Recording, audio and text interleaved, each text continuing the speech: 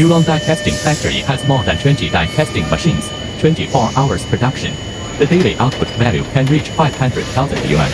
And Yulong Company not only set up independent mold factory, there is its own surface treatment department, which can complete all aspects of die casting production independently.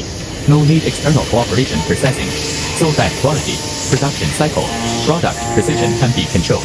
Yulong can not only guarantee the delivery time and quality of products, but also help customers to save production cost.